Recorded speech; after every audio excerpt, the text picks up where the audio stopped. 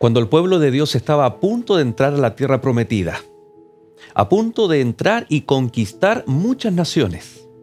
Tal vez alguien podría haber dicho, Dios tendría que haber dado instrucciones bélicas, estrategias de guerra para poder conquistar. Pero ¿sabes qué fue uno de los consejos que Dios le dio a su pueblo? Una de las peticiones que Dios les pidió, aparte de amarlo y de guardar sus mandamientos, fue la de amar a los extranjeros. ¿Pero cómo? Si de alguna forma tenían que conquistarlos, tenían que avanzar en la nueva tierra que Dios les estaba concediendo. Para poder cumplir la misión, para poder dar a conocer el amor y misericordia de Dios, sin duda alguna, que el pueblo de Israel necesitaba demostrar ese amor a Dios, pero también a su prójimo, especialmente a los extranjeros o a los más necesitados. Si ellos necesitaban ese recordatorio, si ellos necesitaban esa información valiosa de parte de Dios, ¿cuánto más lo necesita la iglesia que vive en el tiempo final y en donde vemos tanta necesidad a nuestro alrededor? El amor a los extranjeros va a ser la temática que juntos vamos a desarrollar en este capítulo de lecciones de la Biblia. Bienvenidos.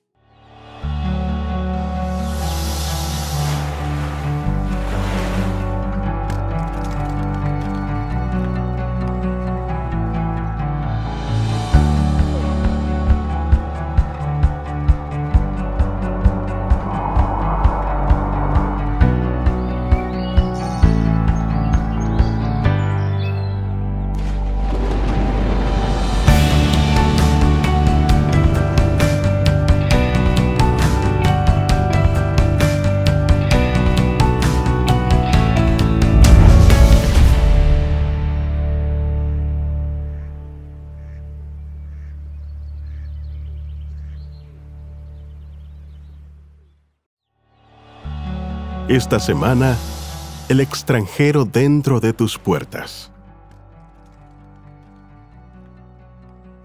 Amaréis pues al extranjero, porque extranjeros fuisteis en la tierra de Egipto. Deuteronomio capítulo 10, versículo 19.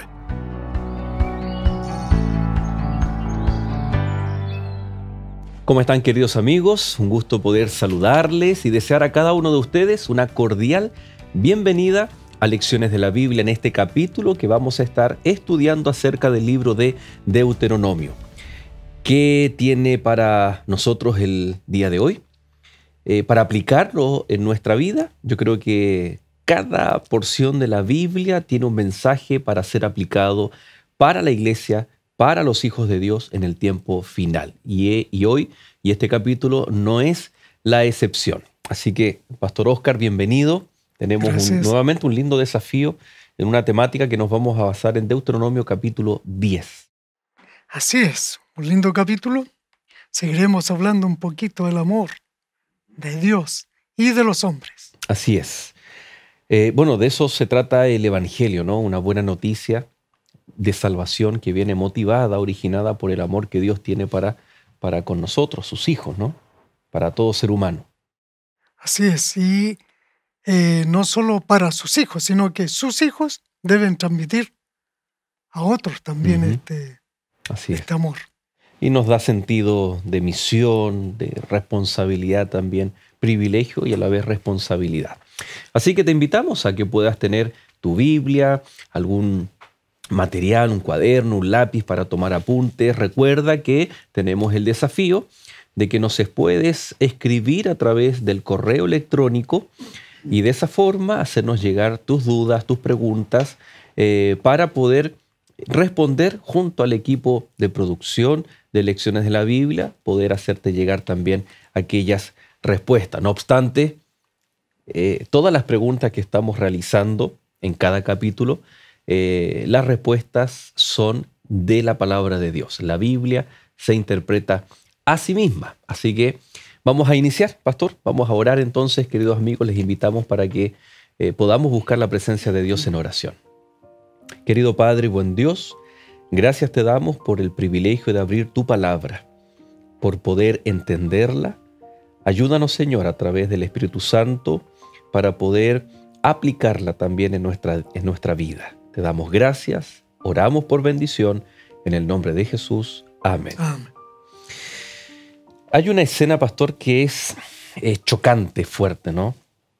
Cuando Moisés desciende del monte Sinaí con las tablas de la ley escritas por el dedo de Dios, eh, en piedra, concepto de durabilidad que es eterna, que nadie puede cambiar una letra. Y cuando Moisés desciende, el pueblo estaba eh, adorando un Dios falso. Y en un acto, yo creo que eh, muy propio del ser humano, las destruye, las rompe, como señal de que el pueblo era el que estaba quebrantando el pacto que Dios estaba estableciendo en, ese mismo momento. Eh, ¿Qué nos dice Deuteronomio capítulo 10 en relación a, qué ocurre cuando el pueblo quebranta el pacto? ¿Somos desechados? ¿Dios nos da nuevas oportunidades? ¿Qué, ocurre ahí en, en, Deuteronomio 10? En realidad que esa eh, forma de actuar que tuvo Moisés al quebrar la tabla, como bien tú decías, era una expresión de decir, este pacto hasta aquí nomás llega. ¿Ya? Es decir, ustedes quebrantaron el pacto, bien, estas tablas también se quiebran, se quiebra todo. Dios, bueno, eh, esa fue la reacción de Moisés. Dios, por su parte, pudo haber dicho, bien, Moisés, tiene toda la razón bien hiciste en quebrar esto, porque hasta aquí nomás llegó con este pueblo. Recién estábamos conversando en el monte, ¿no es cierto? Y yo te entrego las tablas de la ley y el pueblo se pone a adorar a otro Dios. Así que ya yo no sigo con esto.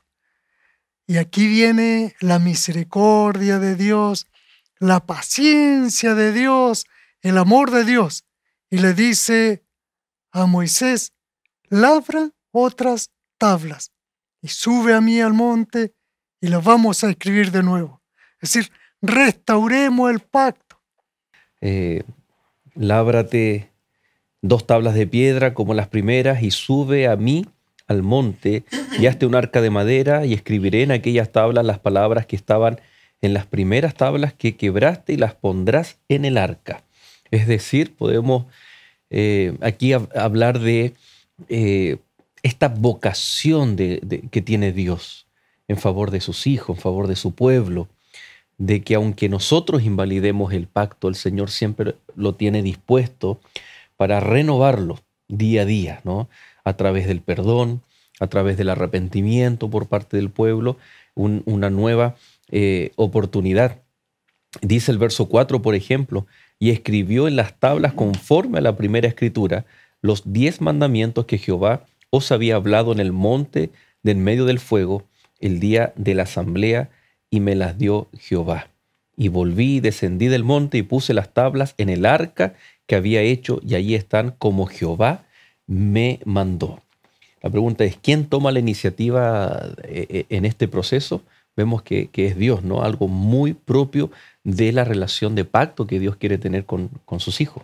Sí, y además que los diez mandamientos eh, era el código del pacto y es el único testimonio directo de lo que del pacto que Dios hizo con el hombre. Testimonio directo me refiero a que es lo único que Dios escribió.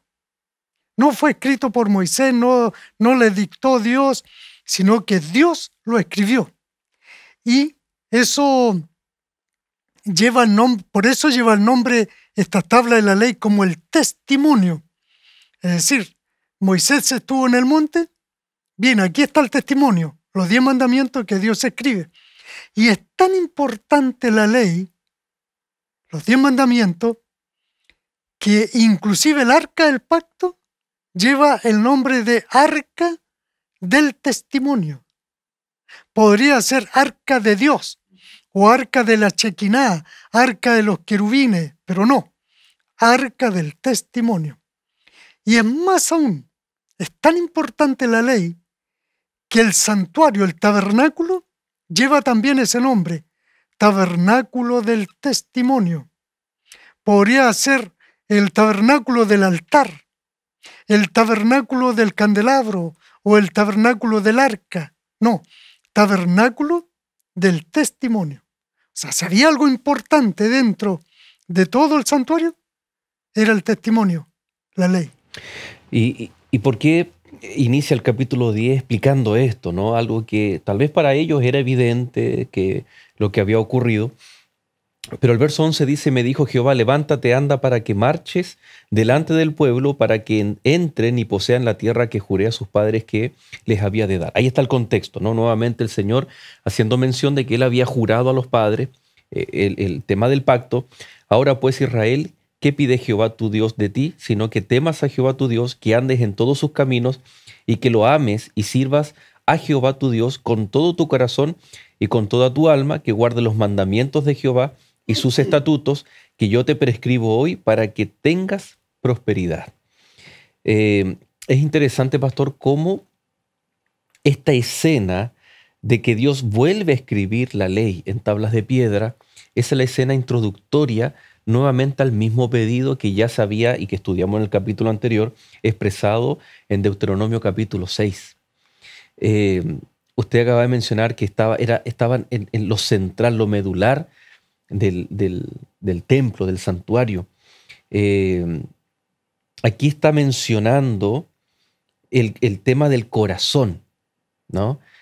Eh, la ley de Dios tiene que estar vinculada con lo que es el corazón del ser humano, em, estoy pensando en que muchas personas dicen que el nuevo pacto, la ley va a estar escrita en el corazón. Y queda la sensación de que están anulando la obligación humana de guardar los mandamientos por amor, sino que eh, ah, como está en el corazón ya no están en tablas de piedra. Pero aquí vemos que se menciona que está en tablas de piedra, pero que también debe tener un efecto en el corazón. O sea, no es que el corazón comienza en el Nuevo Testamento y el Antiguo Testamento estaba en tablas de piedra, dentro del mueble, del arca, etc. O sea, aquí también vemos la misma intención que nos muestra en el Nuevo Pacto, ¿no? Claro. Eh, a pesar de estar escritas en piedra, como tú bien decías, el Señor apela al corazón. Amarás al Señor, tu Dios, con todo tu corazón con toda tu mente y con todas tus eh, habilidades. Es decir, aquí el Señor no es que sean mandamientos eh, rudimentarios, fríos, sino que esto apela al, al, alma, al ser, a la vida. Es decir, vivir con Dios es lo mejor. Por eso, ponle toda tu vida allí, centra tu vida. Una vez que el Señor le entrega los mandamientos acá, pasó un tiempo, porque ellos estuvieron ahí en, el Sinaí eh, alrededor de un año, más o menos, construyen el santuario, una vez que tienen todo dispuesto, el Señor ahora sí les pide que marchen. Y comenzaron a caminar. Esto nos indica que es bueno caminar en los principios de Dios, o teniendo los principios de Dios. Ahora, Dios no le entrega la ley allá en el Éxodo, se lo entrega en el Sinaí. ¿Por qué? Porque el Éxodo es la redención, sacar por pura gracia. Los redime, los salva porque los ama. Los trae acá y acá los forma en un pueblo los constituye en un pueblo. Les dicta leyes, yo soy el rey, y aquí ustedes son, serán siervos míos, y estas son las condiciones, estas son las leyes. Es decir, Dios nunca nos va a pedir que nosotros guardemos su mandamiento, la ley de Dios, sin antes redimirnos. Primero nos redime, después la ley. Así que nunca nosotros en el aspecto salvífico debiéramos poner la ley en, en la salvación. No, la ley está a continuación. En la vida dedicada a Dios se evidencia guardando sus mandamientos. Qué interesante que tal vez lamentablemente muchas veces ponemos la ley de Dios, el guardar los mandamientos, antes de la redención para que una persona acepte a Cristo Jesús o al menos lo manifieste públicamente a través de la ceremonia del bautismo. Claro. Y, exigimos que la persona tenga eh, una observancia cabal de la ley de Dios, siendo que aún tal vez no ha aceptado a Jesús como su Señor y Salvador y lo ponemos como un requisito o un prerequisito para, eh, aunque tampoco la ceremonia otorga salvación. Es un acto de fe en Cristo Jesús, pero tenemos que tener cuidado allí, ¿no? Eh, es, muy bueno el ejemplo del Éxodo, que primero es la redención, y luego viene esta respuesta al pacto, ¿no? Al pacto de, de salvación. El verso 16, pastor, dice, circuncidad pues el prepucio de vuestro corazón y no endurezcáis más vuestra cerviz, porque Jehová vuestro Dios es Dios de dioses y Señor de señores, Dios grande, poderoso y temible, que no hace acepción de personas ni toma cohecho. Em, acá se habla del corazón, que hay, usted mencionaba, ¿no? una obra espiritual. Es interesante porque el nuevo pacto habla, como mencionábamos ¿no? ahí en el libro de Jeremías, habla de eh, que la ley iba a operar en, un, en el corazón, iba a ser escrita en la mente y en el corazón. Sí. Pero aquí también aparece el corazón. Aquí también dice que el pueblo tiene que hacer una obra, eh, una, eh, una, o tiene que tener una actitud para que Dios haga una obra en el corazón humano. Entonces vemos que el pacto eterno de Dios tiene un efecto, siempre tiene un efecto y busca una influencia en el corazón humano, ¿no? Que es la de salvación. Sí, esto de circuncidar el corazón es una metáfora en la cual está hablando de un cambio, un cambio, una transformación, porque no es solo el único caso de circuncisión. Claro, a Moisés se le indicó la circuncisión literal del prepucio, ¿no es cierto?, de él y de toda su descendencia. Pero también tenemos, por ejemplo, eh, Éxodo capítulo 6, podríamos leerlo, Éxodo 6, 12, en donde allí eh, Moisés está hablando, 6.12, dice, y respondió Moisés delante de Jehová, he aquí los hijos de Israel no me escucharán. ¿Cómo me escucharán, Faraón, siendo yo torpe de labios? Bueno, hay una versión que dice, en vez de torpe de labios, dice incircunciso de labios. Es decir, necesito una transformación en mi habla. Entonces, cuando habla de circuncisión del corazón, yo necesito transformar el corazón. También otro caso, por ejemplo, eh, Jeremías, allí en Jeremías 6.10. A ver si tú me ayudas con, el, con ese texto. Eh, capítulo 6. 6, verso 10. Dice, ¿a quién hablaré y amonestaré para que oigan? He aquí que sus oídos son incircuncisos y no pueden escuchar. He aquí que la palabra de Jehová les es cosa vergonzosa y no la aman. Oídos incircuncisos. Oídos incircuncisos. Es decir, aquí tiene que haber una transformación en la forma de escuchar. Y aquí vendría por decir así, el, el o el verbo chamá, oye. Es decir, si a lo mejor tú solo oye y no obedece, necesitas una circuncisión del oído, es decir, una transformación del oído, que no solo escuches, sino obedezcas. ¿ya? Ahora, a esta forma de circuncisión o transformación, el apóstol Pablo, allí en Romanos capítulo 2, capítulo 2, verso 28 y 29, explica un poquito más, ahora en el contexto de, del Nuevo Testamento, lo que es la circuncisión. Capítulo 2 de Romanos, versos 28 y 29. Pues no es judío el que lo es exteriormente, ni es la circuncisión la que se hace exteriormente en la carne sino que es judío el que lo es en lo interior y la circuncisión es la del corazón, en espíritu, no en letra, la alabanza del cual no viene de los hombres, sino de Dios. Muy claro, ¿no? Es circuncisión del, del interior, dice. Esa que se hace en el interior, claro. Para que la persona sea transformada, se dice que la transformación debe comenzar de adentro hacia afuera.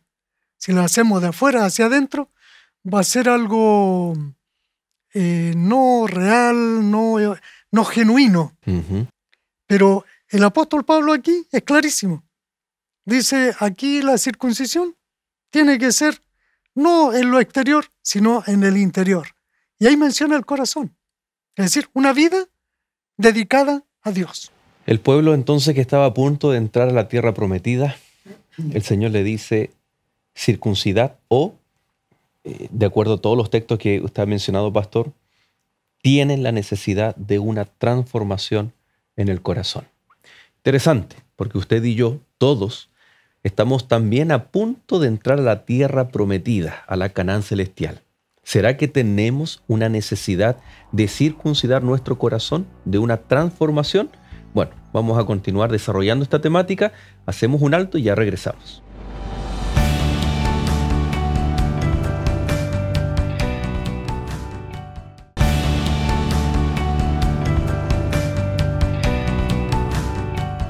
Ya estamos nuevamente de regreso en este bloque donde estamos hablando acerca de Deuteronomio capítulo 10. Inicia este capítulo con eh, recordándole al pueblo de que ellos eh, tenían la ley de Dios escritas en tablas de piedra. Después de que las primeras fueron quebradas, estas segundas reflejaban la insistencia de Dios por buscar y acercarse al ser humano. Y sin duda alguna, el deseo del corazón de Dios es que su pueblo lo ame y que guarde sus mandamientos.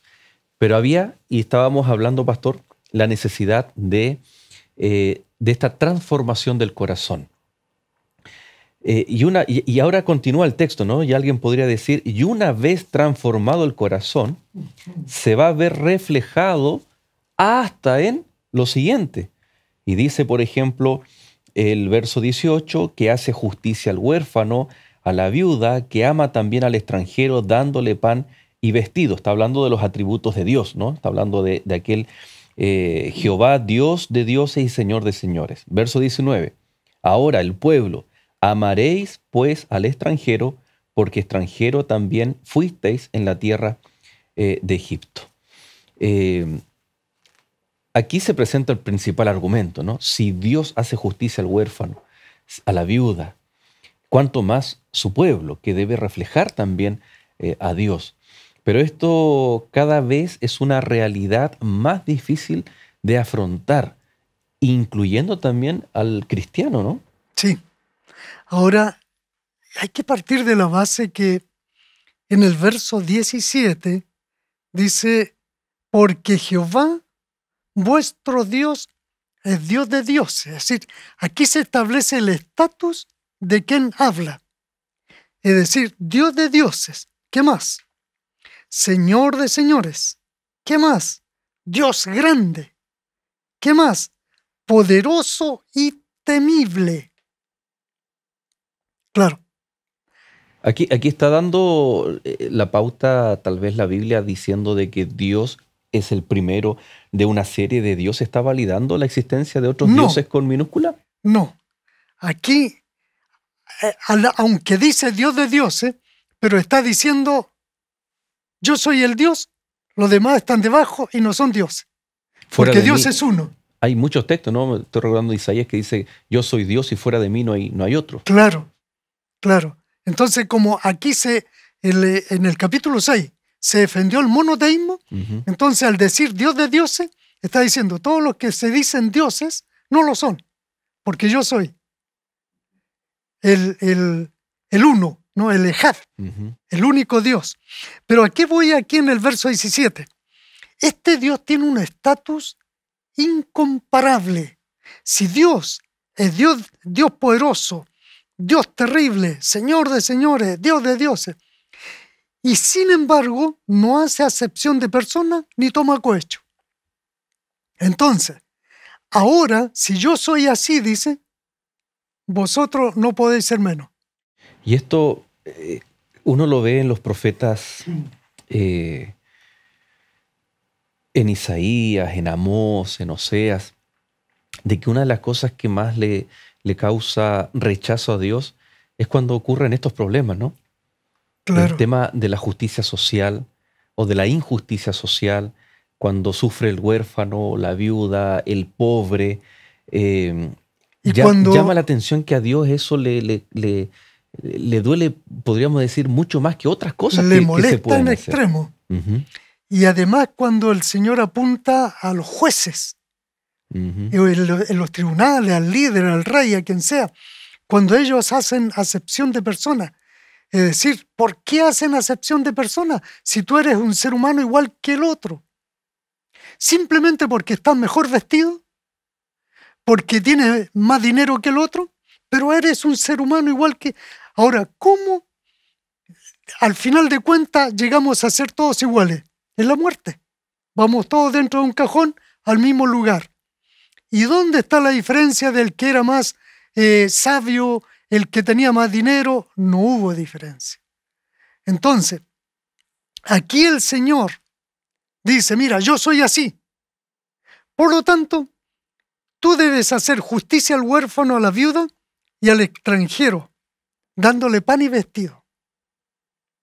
Entonces, el problema que tenemos los seres humanos, que si alguien ya tiene un poco más de dinero que el otro, o tiene un mejor vehículo que el otro, o en fin, lo que sea, entonces ya se siente superior. Y algunos se tornan orgullosos, inclusive pueden desconocer a sus amigos y no saludarlos, ¿no? Eh, no ayudarlos, darles la espalda cuando ellos estaban en necesidad. Entonces Dios dice, mira, yo soy el que creó los cielos y la tierra, soy dueño de todo. Pero aún así, yo me preocupo del huérfano, de la viuda, del pobre, si tienen o no tienen. Y te he dado a ti también que tú debes cumplir en esa parte y ser como yo. Y ese debiera ser el principal y el único argumento, ¿no? Así como yo soy, tú tienes que ser. Claro. Listo, ¿no? Claro. Pero el ser humano es tan particular y Dios nos conoce tanto que continuó dando argumentos para amar al extranjero o al prójimo, a tal punto que dice el verso 19, amaréis pues al extranjero porque extranjeros fuisteis en la tierra de Egipto. Claro. Es, como tomando estos textos que dice, cuida de no olvidarte, eh, pero ahí está haciendo alusión de lo que Dios ha hecho por ti este texto, el verso 19, viene a agregar otra frase, ¿no? Claro. Cuida de no olvidarte de quién eras, de dónde estabas y cómo estabas. ¿De dónde vienes? Un esclavo que estaba en Egipto, que estaba viviendo por opresión y que ahora estás mejor. Usted dice que hay personas que cuando están mejor se sienten superior. Mm. Y como el pueblo estaba en lo más bajo, esclavos, el solo hecho de sacarlos de allí de Egipto ya se iban a sentir mejor y superior.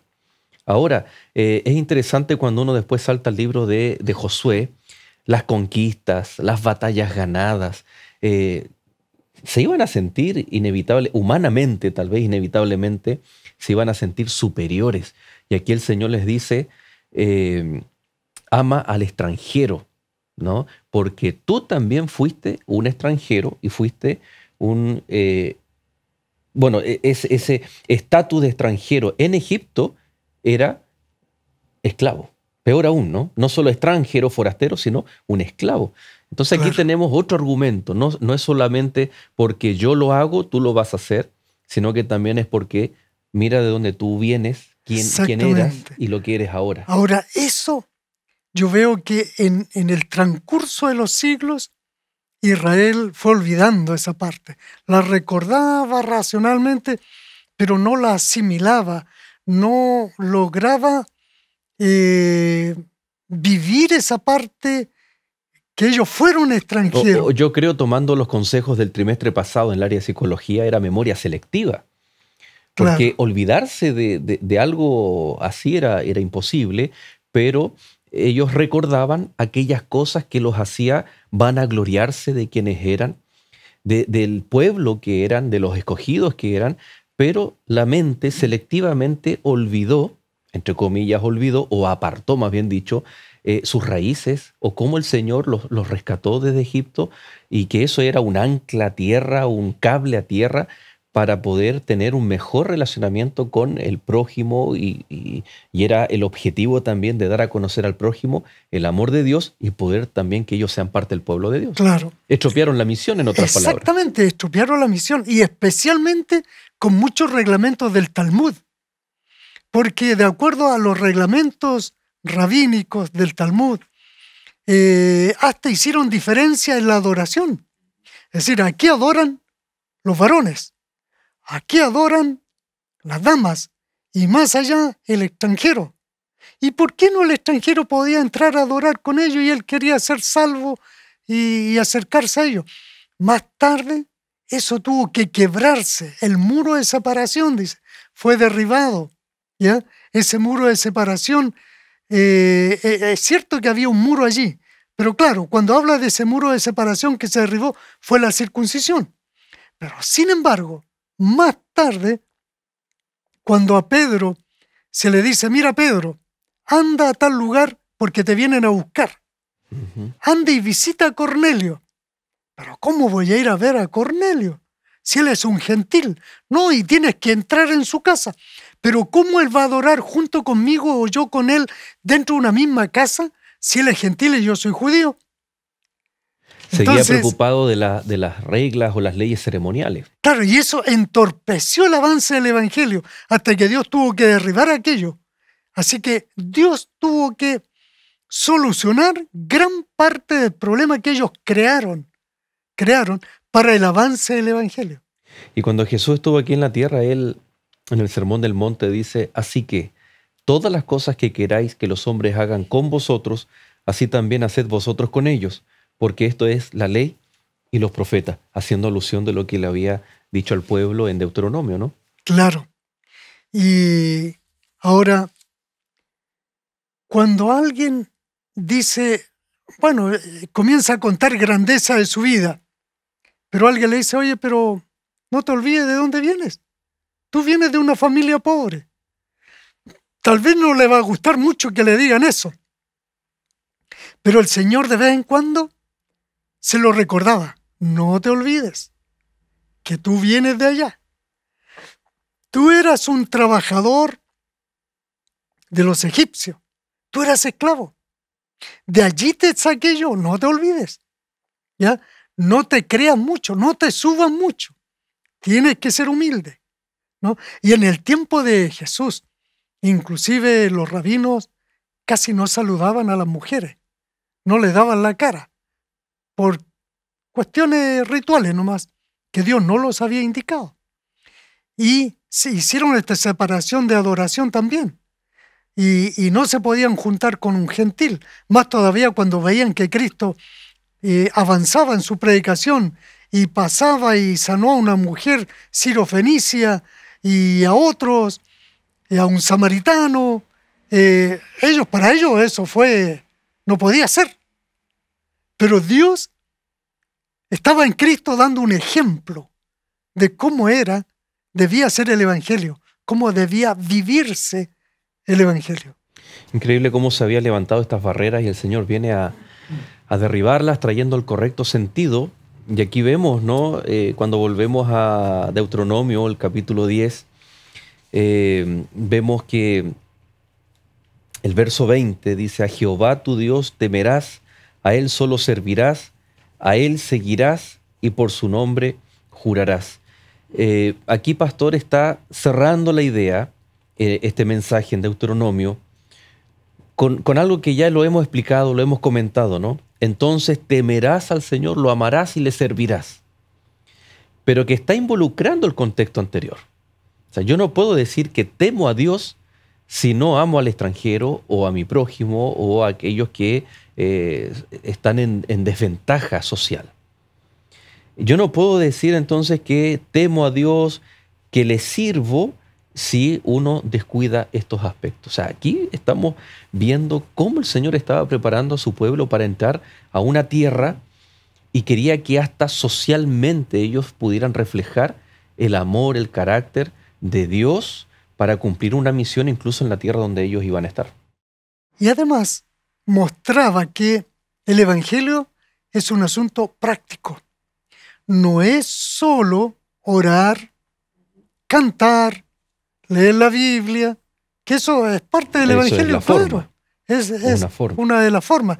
Pero el Evangelio también es práctico, no es solo decir, Señor, mira, yo guardo tu ley y, y eso a ti te agrada. Sí, está bien.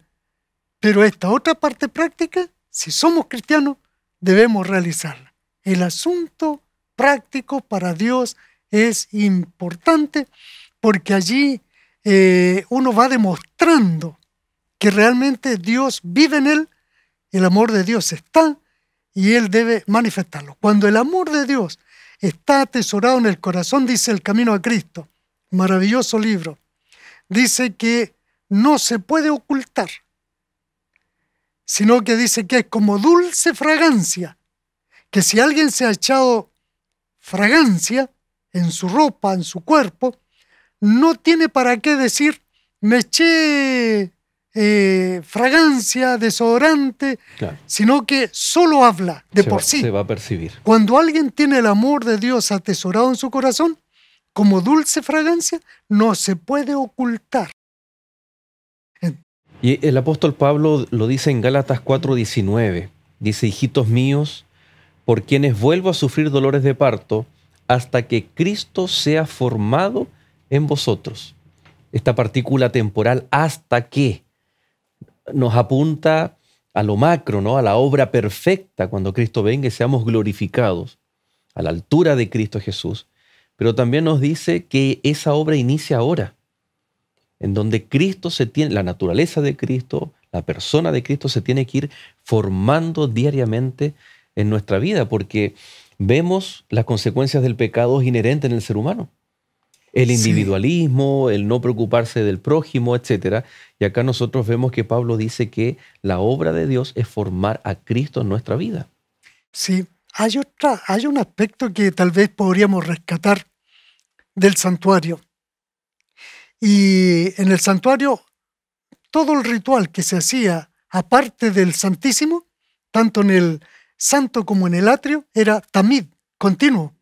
Pero la palabra tamid no es solo continuo o continuamente, sino que también tiene la raíz de perfecto, completo, completo. Así que en realidad que el cristiano debiera ser no solo perfecto, sino completo. Es decir, no solo esto del cristianismo, sino esto otro. Íntegro. íntegro, completamente. Bueno, pastor, interesante amigos. Estamos ahora eh, viendo de qué forma eh, podemos aplicar esto en nuestra vida. Vemos que era una preocupación divina para con el pueblo de Israel y por supuesto también es una preocupación divina para la iglesia en el tiempo en el cual estamos viviendo. Hacemos un alto y ya regresamos.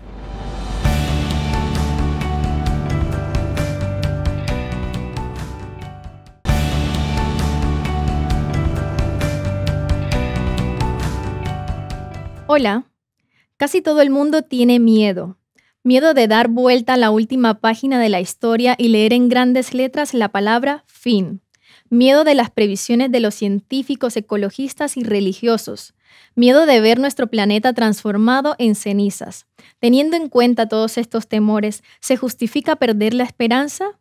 ¿Es razonable concluir que Dios no existe y que no hay nada más allá de aquello que podemos ver o tocar? Solicita ahora mismo la guía de estudio Verdades para el tiempo del fin y descubre en ella el plan que Dios tiene para tu vida.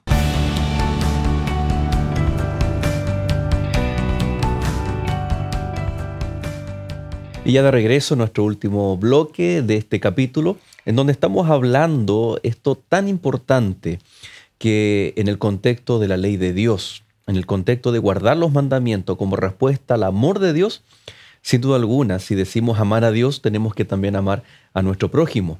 Y hay muchas porciones de la Biblia en donde antes que el pueblo entrara en contacto con nuevas naciones, con otras ciudades, con extranjeros, el Señor les dice, ellos no son nuestros enemigos, aunque muchas veces creían en otros dioses, tenían un estilo de vida completamente distinto al, al que Dios quería para su pueblo, el Señor dice, eh, la base de este relacionamiento es el amor a los extranjeros. Porque potencialmente, pastor, eran objeto también de, por un lado, de los juicios divinos, pero también de la oportunidad. Eh, usted mencionaba en capítulos anteriores, no hay juicio divino sin oportunidad de salvación. Por lo tanto, el pueblo debía recibir esa oportunidad de salvación y el instrumento iba a ser el pueblo de Dios. Al manifestar esto, ¿no? Y el capítulo 24, junto con el capítulo 10, señalan, y yo quiero enfatizar lo siguiente, dice, y si el hombre fuere pobre, no te acostarás reteniendo aún su prenda, una prenda ¿no? que, que estaba allí eh, prestada. Sin falta le devolverás la prenda cuando el sol se ponga para que pueda dormir en su ropa y te bendiga y te será justicia delante de Jehová tu Dios. Una cosa es tener acciones de beneficencia, de ayuda al prójimo o mostrar amor al prójimo porque corresponde. Y mucha gente lo hace. Pero aquí termina este, este verso con algo que debiera estar en la mente de cada cristiano, de cada hijo de Dios. Y te será justicia delante de Jehová tu Dios. Es decir, eh, si se puede hacer un poco más de lo que corresponde, de lo que es justo, los hijos de Dios son llamados a hacer esto, ¿no? Un poco más de lo que el resto estaría dispuesto a hacer. Se utiliza aquí la palabra justicia. ¿Se puede confundir? salvación por obras, ¿no? Claro, claro. Porque nosotros nuestra fe no es contada por justicia, pero aquí eh, está diciendo que te será justicia delante de Jehová. Entonces quiere decir que la justicia de Dios tiene, por decir así, dos tramos. Una es el momento de la salvación, en la cual Dios otorga justicia sin acción humana sin acción humana. Y eso es lo que nosotros conocemos como la justificación por la fe, la cual es imputada, la cual es contada a favor de o acreditada. Pero también está la otra parte de justicia de Dios, la cual es impartida el día a día, en la cual el ser humano tiene que actuar, demostrar que ama a Dios, demostrar que ha sido justificado, demostrar que ha sido salvo, demostrar que es un hijo de Dios. No para que Dios sepa, porque Dios sabe, puede leer el corazón, la mente, pero sin embargo tiene que ser testimonio para que Él cuando hable de Dios le crean que esa justicia de Dios impartida eh, esa santificación eh, sea vista por los hombres, para que, como Jesús dijo, para que los hombres vean vuestras buenas obras y glorifiquen a vuestro Padre que está en los cielos. Y, fíjense que el verso 19, son varios los ejemplos del capítulo 24, ¿no? Quiero leer el 19, dice, cuando ciegues tu mies en tu campo y olvides alguna gavilla en el campo, no volverás para recogerla. Será para el extranjero, para el huérfano y para la viuda, para que te bendiga Jehová tu Dios en toda obra de tus manos. Aquí hay un, un consejo en contra de la avaricia, en contra del egoísmo, en contra de esta actitud que Jesús también reprochó de juntar tesoros en donde el moho y la polilla corrompen, cuando aquí estás hablando de que nuestros tesoros o nuestra producción, en primer lugar, deben estar eh, en los cielos, ¿no? enfocadas ahí en los graneros celestiales. Interesante, pastor, cómo la actitud que Dios quiere que, tengamos eh, frente a, a las personas extranjeras, viudos, los pobres, los huérfanos, etc. Sí, y vuelvo a retomar el caso de, del estatus de Dios que Él es el que está más arriba, que está muy lejos nuestro en estatus.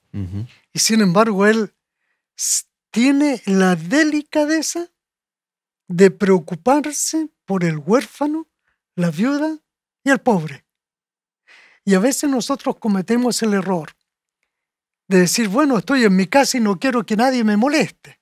Apagamos el teléfono y nos cerramos bien de puerta y el portón lo sellamos bien, que nadie venga y nos moleste, ¿no? Y cerramos todo para que aquí nadie me moleste. Y si alguien viene a, golpear, a tocar el timbre, eh, no, por favor, estoy ocupado, estoy cansado. Eh, yo creo que de Dios tenemos que aprender mucho. Que nunca más yo diga, bueno, estoy cansado, hay una persona pidiendo allí en el portón, pero no, vengo llegando recién, no quiero salir otra vez. ¿Será que yo debo salir? Buena tarea tenemos, ¿no? Para eh, ver si realmente estamos viviendo la vida cristiana o no. Hay, hay, varios argumentos, ¿no? Aquí dice, para que el Señor bendiga y prospere la obra de tus manos. El reconocer que lo que tenemos no es solo para nuestra autocomplacencia, sino también para el Señor nos da pone en nuestras manos para poder extenderla y ayudar a otras personas también. Pero hay un argumento, dice el verso 18, sino que te acordarás que fuiste siervo en Egipto y que de allí te rescató, te rescató Jehová tu Dios. Es decir, lo que tú tienes, podríamos reinterpretar el texto, lo que tú tienes, lo que has logrado ser, es gracias a lo que Dios ha hecho en tu vida. Y luego dice, por tanto, yo te mando que hagas esto. Interesante sigue siendo algo voluntario, eh, Dios apelando al corazón de su pueblo, pero sigue siendo algo tan solemne y tan importante para Dios que dice, yo te mando que hagas esto. Cuán importante eh, es esto para, para, Dios, ¿no? El cuidar de, aquellos menesterosos. Y, y en este mandato, pastor, en este mandato no encontramos ninguna ordenanza en donde Dios, por ejemplo, diga, pero mira, lo que tú tienes para mí, no te preocupes, dalo a los pobres. Me refiero a que muchas veces encontramos hermanos que pueden decir, o, cristianos que son sinceros, pero que tal vez no descubren aquello que el Señor manda, ¿no? El Señor es muy tajante. Él se reserva, por ejemplo, el diezmo. Y Él dice, esto es para mí. Y en ningún momento está diciendo, yo te mando que en este contexto de los necesitados, tú puedas usar dinero que es mío para lo que es la ayuda a los necesitados. Y aquí habla de la prosperidad, del resultado del trabajo como consecuencia de, tener este, esta ayuda al prójimo y de esa prosperidad el Señor nos permite también compartir con otras personas, no lo que a Él le corresponde. Claro, porque en realidad que con respecto a Dios, cuando nosotros devolvemos el diezmo y la ofrenda, estamos manifestando no solo amor por Dios, sino fe en Dios. Porque muchos podrán decir, pero hoy tengo que devolver el diezmo, pero no me va a alcanzar, me va a faltar. Bueno, allí está la fe. No solo el amor a Dios hace que nosotros seamos fieles mayordomos, sino también fe en Dios. Es decir, el Señor cubrirá mi necesidad, de alguna manera. Ahora, con respecto a dar al prójimo, allí está el amor. También hay fe en que si yo tengo a lo mejor cuatro panes y, pasaron a pedir pan, entonces yo digo, hoy me quedan solo cuatro. Si le doy uno o dos, voy a quedar con dos. Bueno, no solo el amor, está la fe. El Señor me dará el sustento en su momento, ¿no? Así que este es un privilegio, que el Señor nos otorgue la posibilidad de poder no solo ser fiel con Dios, sino ayudar al prójimo, es una bendición que Dios nos otorga. Y como usted ha mencionado, pastor, esta oportunidad que nos da el Evangelio de poder mostrar nuestra fe y al mismo tiempo nuestras obras. Y que estos dos conceptos no están en disputa, sino que en la vida del cristiano, en la vida del cristiano saludable, espiritualmente hablando, es una eh, relación armoniosa entre la fe en Cristo Jesús, que nos salva, y también nuestras obras, que no nos salvan, pero que vienen en, absoluta coherencia como resultado de esta relación salvífica que tenemos con el Señor. No somos islas eh, creo que la predicación del Evangelio en el tiempo final lo hemos visto a través de esta pandemia, a través de muchas necesidades que han aflorado en la, en la sociedad hoy en día, tiene que ver mucho con suplir necesidades de los más necesitados.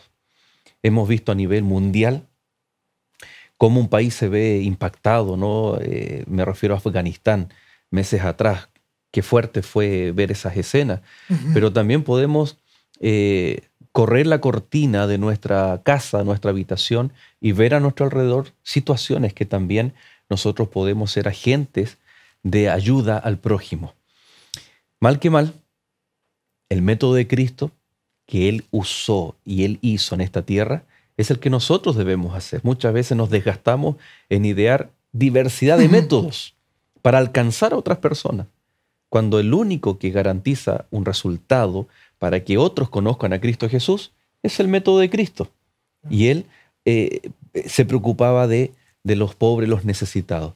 Yo creo que es un lindo llamado, pastor, también para ser parte o, eh, que nuestro estilo de vida sea el método de Cristo y no sea simplemente una estrategia misionera, sino que sea esté en el ADN de cada persona que, como dice aquí la palabra de Dios, teme a Dios, lo ama con todo el corazón, con toda el alma y con todas las fuerzas. Así es. Dios le pidió a su pueblo que fuera distinto al de los demás, no solo en estas leyes, sino que Dios quería que su pueblo fuera además santo, apartado. Es decir, si Dios quiere que nosotros seamos santos, nosotros debemos consagrar de todo corazón nuestra vida, nuestros talentos y también nuestra mente, nuestro corazón para Dios. Y además de consagrarlo para Dios, consagrarlo también para servicio al prójimo. Qué importante es eso. A lo mejor tú tienes dones, tienes talentos, ya sean habilidades eh, manuales o tal vez intelectuales o económicas, en fin, distintos talentos. Yo te insto a que realmente tú lo pongas en las manos al Señor, tú puedas servir al Señor, puedas servir no solo a lo mejor devolviendo diezmo y ofrendas, sino también ayudando al prójimo.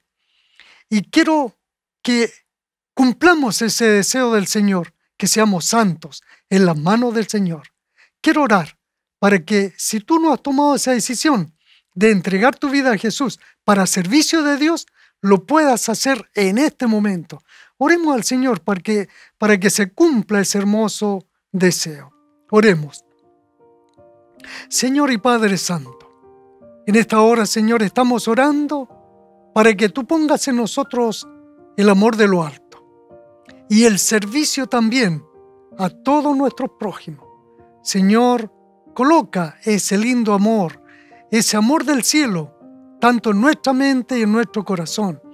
Que te amemos a mí, a ti por sobre todas las cosas, pero también al prójimo, que podamos servir, ser santos y demostrar que somos hijos de Dios. Oramos en el nombre de Jesús. Amén. Amén. Muchas gracias, Pastor Oscar. Ha sido un estudio muy práctico, muy interesante y lo mismo que el Señor le pidió a Israel es lo que nos pide a nosotros en el tiempo final. Amén. Así que nos vemos en el próximo capítulo, Pastor. Gracias. Y queridos amigos, a cada uno de ustedes, que el Señor les bendiga, permanezca en sintonía de Nuevo Tiempo, canal de esperanza, y nosotros nos reencontraremos en un nuevo capítulo de Lecciones de la Biblia.